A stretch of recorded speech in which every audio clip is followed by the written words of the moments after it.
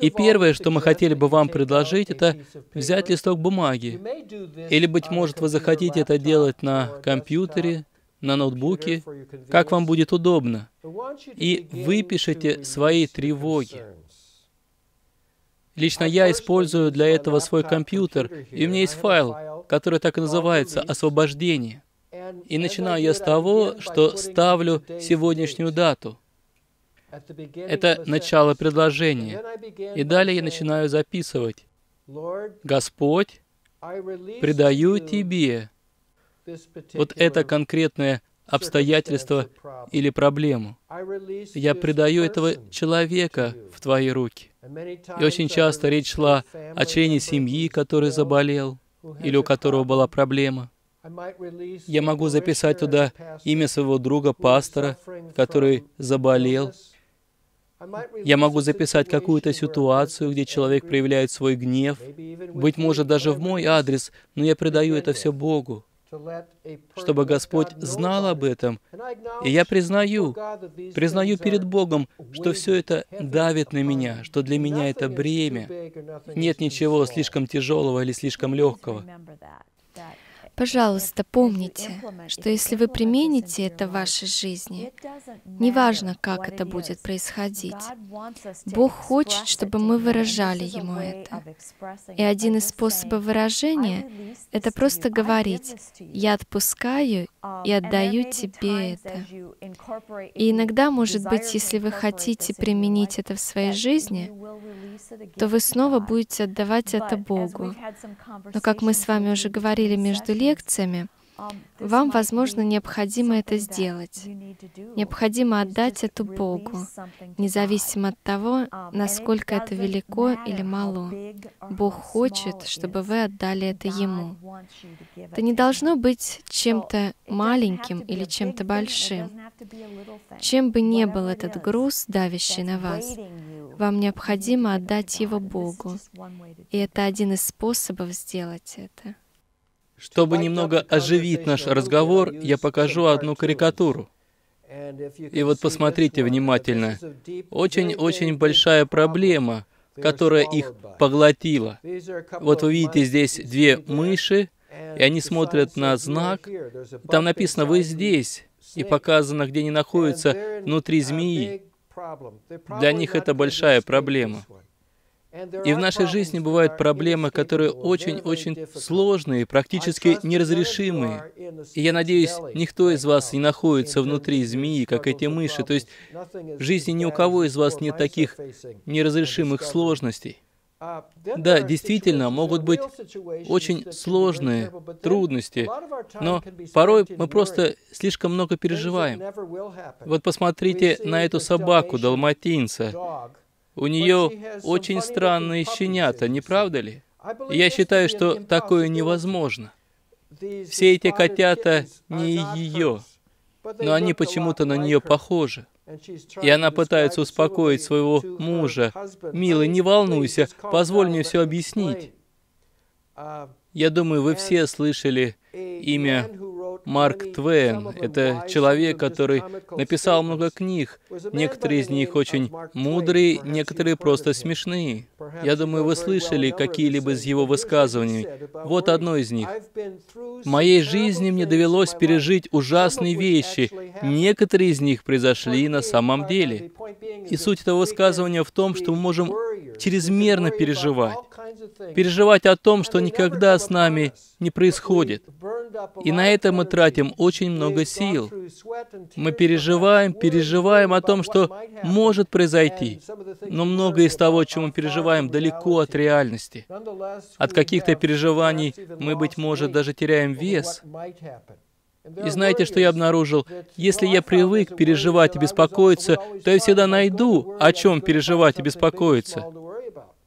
И если то, о чем я переживаю, на самом деле не происходит, все заканчивается хорошо, я нахожу еще что-то, о чем я начинаю переживать. И в конце концов я вынужден признать, если я ничего не изменю, я буду переживать до конца своей жизни. И вот поэтому очень важен этот шаг. Шаг, когда мы передаем Богу все наши переживания, большие и маленькие, отпускаем от себя. И позднее я обнаружил ответ вот на этот процесс освобождения. Вначале вам может показаться, что это проявление безответственности, когда мы что-то отпускаем и передаем Богу. Но с этого нужно начать. И на этом вы не остановитесь, потому что Бог призовет вас к ответственному выполнению того, что вам нужно выполнить в той или иной ситуации, которую вы предаете Богу. Поэтому второй шаг также очень важен. На основе этого перечня составьте другой, с перечислением действий, которые можно предпринять для решения указанных проблем. Какие же действия вы должны предпринять? И во время вашего размышления к вам может прийти мысль, «Ага, мне следует сделать это». Но не спешите, убедитесь, что это Дух Святой вам говорит. Вот представьте, что подобное время пересмысления у вас в понедельник, и вы записали 10 дел, но пока вы не представляете конкретного плана реализации этих дел. И вот в течение недели вы вновь возвращаетесь к ним, и приходит озарение. Ага, кто-то мне только что подсказал, как мне следует это сделать. Скажем, в какой-то ситуации, связанной с финансами. Или, быть может, вы читаете Библию и обнаруживаете что-то, что проливает свет на то, что вы написали в своей тетрадке. Быть может, Бог подсказывает вам, что и как вам нужно сделать. Поэтому не спешите, ждите, чтобы Бог послал вам ответ. И порой мы знаем ответ, но мы избегаем его, потому что он трудный для нас, скажем, пойти кого-то обличить. Вместо этого гораздо проще распространять сплетни об этом человеке. Но Бог говорит, пойди к этому человеку и скажи ему, ты обидел меня. Вам может этого не хотеться, но Бог во время молитвы говорит вам, иди и сделай, не трать больше времени. А быть может, вы на кого-то затаили обиду, и вам нужно простить этого человека. Знают ли они о том, что вас обидели или нет? Или, быть может, вы осознаете, что вы кого-то обидели, и теперь уже вам нужно пойти и сказать, «Я сожалею». Очень многое может произойти после того, как мы предадим наши заботы Богу. Мы составляем первый список забот, а затем составляем второй список тех дел, которым призывает нас Бог. И далее третий пункт. Составьте еще один список того, на что вы не можете повлиять. И это очень важно, то, что вы не можете контролировать. Совсем недавно я получил один e-mail, в котором мне один человек написал о том, что его несправедливо оклеветали. И он меня спрашивал, что я буду с этим делать. Но в Писании мы находим такой принцип. Если кто-то приходит к вам и говорит, что его кто-то обидел, то у вас есть выбор. Вы можете начать делать то, к чему не призывает Писание, а именно пойти, чтобы поговорить с тем обидчиком. В Библии, в частности, в Евангелии Матфея, 18 главе, мы читаем совсем иное. Если кто-то обидел вас, то вы сами должны пойти к этому человеку и рассказать ему о том, что он вас обидел. Может, он даже этого не сознает. Может быть, есть какое-то этому объяснение, которого вы не понимаете. Поэтому моя роль в этой ситуации — сказать обиженному, что это его ответственность, согласно Библии, пойти и поговорить со своим обидчиком. И кроме этого, на этом этапе мне ничего не следует делать. И знаете, в чем моя ответственность? Я должен молиться, чтобы у этого человека хватило мужества пойти и обличить обидчика. Именно такова моя роль. Есть много ситуаций, в которых вместо того, чтобы что-то делать, мы должны молиться. И очень часто служители не выдерживают, начинают во что-то вмешиваться, в то время как их задача в том, чтобы отстраниться и дать водительство тем людям, которые задействованы, и молиться, не спешить что-то делать, не помолившись. И получается, вы составляете такой молитвенный список. Допустим, ситуация, когда кто-то, мужчина или женщина, или, быть может, ребенок попал в больницу, вы можете пойти и навестить их, чтобы утешить их, утешить больных, больницы, их родственников, быть с ними. И это вы можете делать. Но не вы целитель, не вы врач, не вы тот, кто назначает лекарства и выполняет операцию. Не в этом ваше призвание. Конечно, если вы не врач в той больнице. Ваша задача — находиться рядом и молиться. Вы видите, Бог дает нам те задания, с которыми мы можем справиться, и просит нас молиться о том, что в Его руках, что только Он может сделать. Вы понимаете, что Бог не будет делать мою часть, и Он не ожидает, что я буду делать Его часть. Если мы все перепутаем, если мы начнем делать Божью часть, то, что Он может сделать, и пренебрегать тем малым, что в наших руках, мы все испортим. Я не всемогущий Бог, я не могу исцелять. Скажем, если у человека рак или инфаркт или что-либо еще, но я могу молиться Богу и ходатайствовать за этого человека. Я также могу утешать, и это в моих руках. Я могу обличать, когда Бог призывает меня обличать. Хотя я могу думать про себя, я не хочу их обличать. Накажи-ка их сам. Нет, не так мне нужно рассуждать. В этот момент я должен молиться, Господи, действуй через меня, когда я пойду к этому человеку по воле Твоей. Я понимаю, что Ты за меня этого не сделаешь. Но я прошу через это сделать то, что только Ты можешь сделать. Дэвид Хенсон в своей книге «Продолжительная молитва» написал, «Многие христиане пытались в молитве возложить свои заботы на Бога, но, откровенно говоря, у них мало что получалось. Краткие молитвы результатов не давали, да и как они могут помочь избавиться от давних переживаний? Эти переживания вживались в нас так долго, что избавиться от них можно только в результате продолжительной молитвы.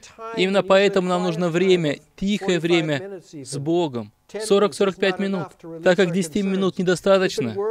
Мы так долго обо всем этом переживали, что нам нужно время, чтобы шаг за шагом передать все эти ситуации, которые нас так беспокоят, Богу в молитве.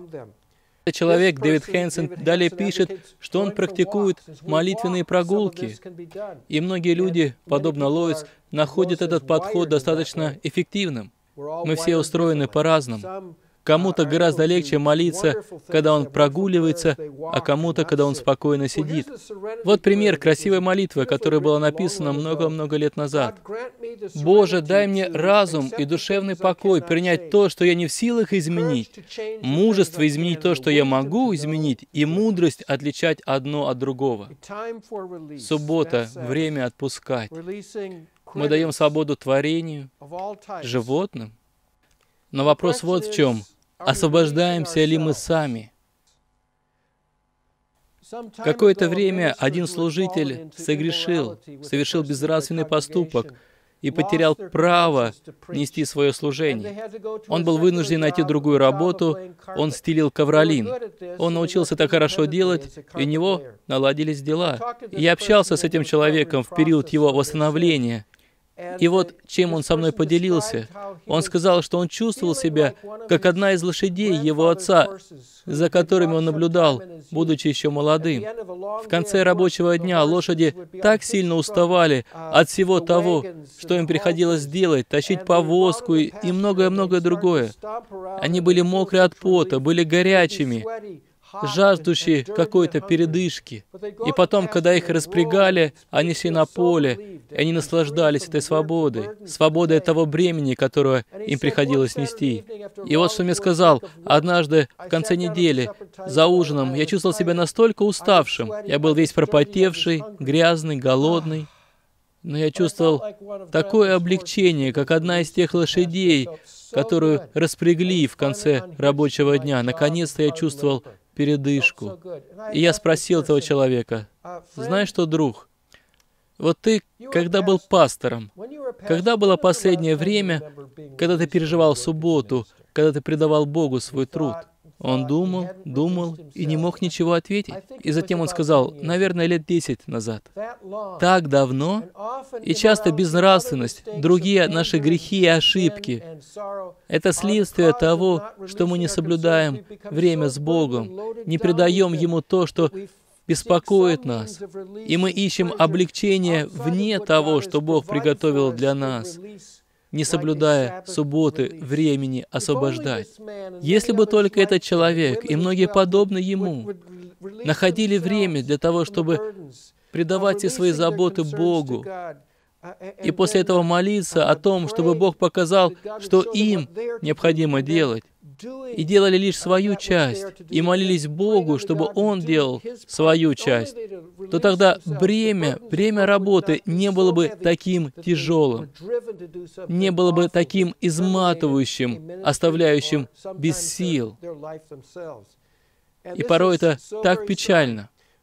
И с другой стороны, я обнаружил, что те, кто соблюдает это время с Богом, находят силы преодолевать самые разные искушения. Я вот тут набросал некоторые вопросы для обсуждения. Посмотрите, кому бы вы могли помочь освободиться от тревог и переживаний, прежде чем избавитесь от своих собственных? Кто бы мог быть тем человеком, кому вы можете помочь освободиться от его забот и переживаний. Помогите освободиться им. А как насчет вас? Если вы летали на самолете, на коммерческом рейсе, то вы замечали, что вначале, перед тем, как самолет взлетит в небо, выходит стюардесса и показывает, что делать в экстренных случаях. И она говорит, если вдруг произошла разгерметизация салона, а самолет высоко в небе, то есть кислородная маска.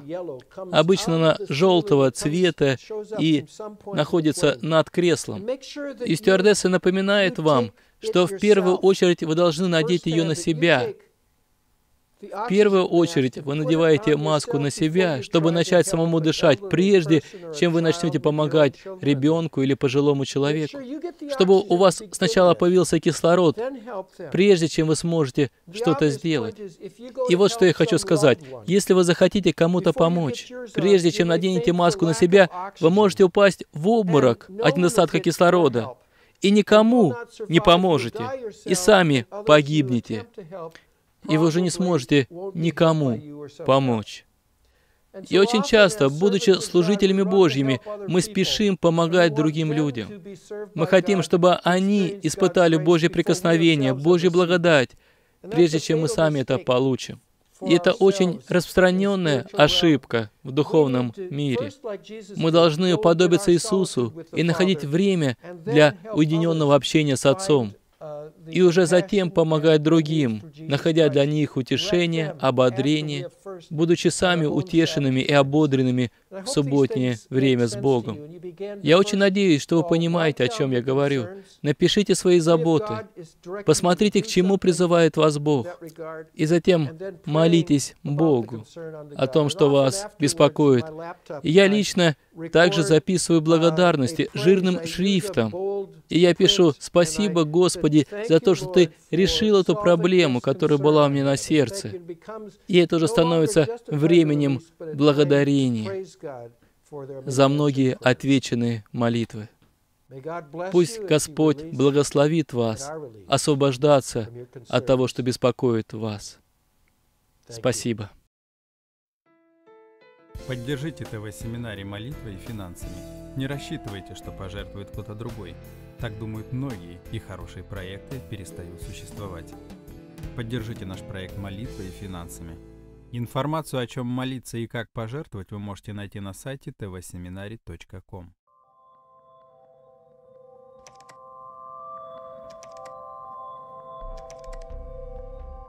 Ищите нас в поисковых системах по запросу ТВ-семинарий.